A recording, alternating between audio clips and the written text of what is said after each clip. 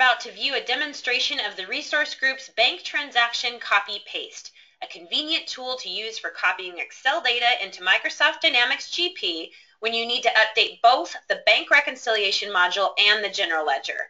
Not only is the formatting simple and the process easy, but there are built-in validation reports to prevent errors from being transferred into your system.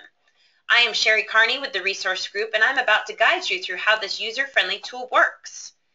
We start out with an Excel spreadsheet containing the data that's to be copied. The example here is data received to record a payroll that has been outsourced. If we just use the GL copy paste tool, we would need to process a second entry in order to update the checkbook for the payroll funding. The formatting is really flexible. We are able to define our columns within the bank transaction copy paste window in GP. Let's take a look at that. We want to go ahead and pull up Microsoft Dynamics GP. And on the financial page, we go to our transactions, financial, and bank transactions, where we would normally go to do a bank transaction. At the top, you'll see a new button called Additional. When we click on that, you'll see the option for the TRG Excel Bank Transaction Integration. We'll go ahead and click on that. And then this will give us our fields that we need to fill in for the integration to take place. The fields are very uh, usual for what we'd see in a bank transaction window. So we want to choose our option of transaction or receipt, our type of check or a withdrawal for the funding, the transaction date that the funding happened on, the checkbook ID, where did the money come out of? So we're going to choose payroll here. It automatically assigns the next transaction number, so we'll go ahead and keep that. Our paid to receipt from, just as always, I'm just going to say payroll. And the description, if you'd like to add a description. The GL batch number is not a required field, as you can see here. However, if you'd like to assign a specific GL batch for this transaction to be saved into, you can certainly assign the batch here. If we leave it blank, what will happen is GP will auto-assign the next CMTRX transaction batch, uh, just as it normally would for a bank transaction flowing to the general ledger.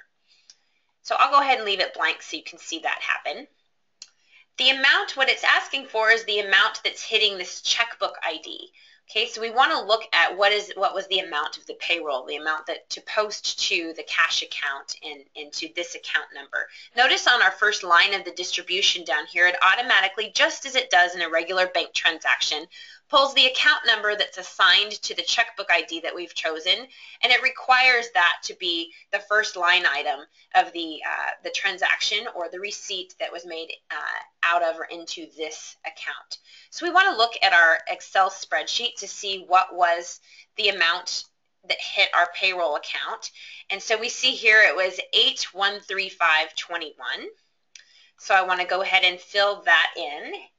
813521. As soon as I fill that in, it fills into the first distribution line below.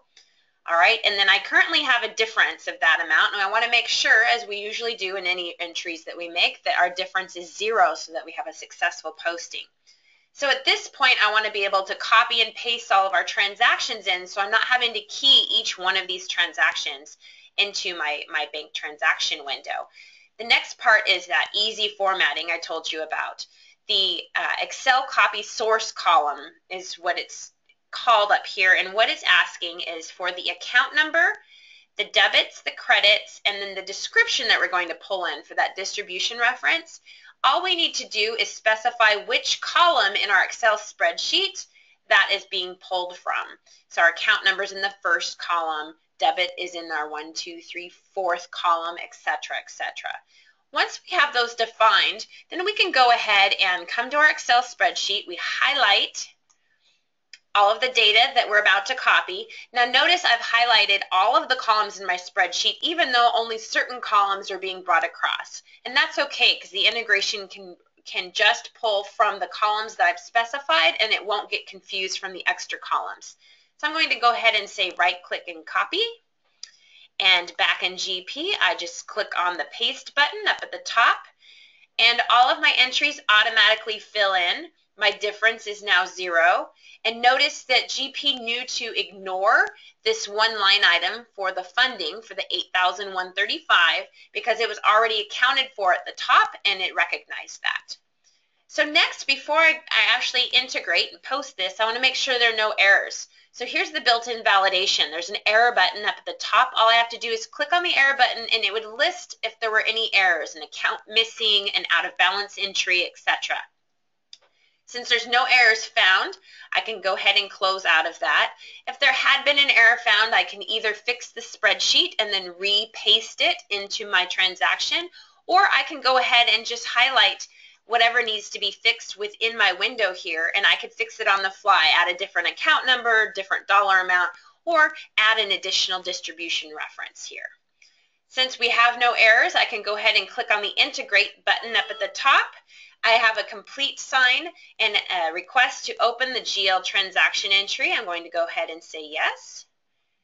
And then now I get my transaction entry for the general ledger with my new journal entry number here again is that batch ID I told you about, the CMTRX. It auto-assigned the next batch ID available for this type of transaction for the general ledger.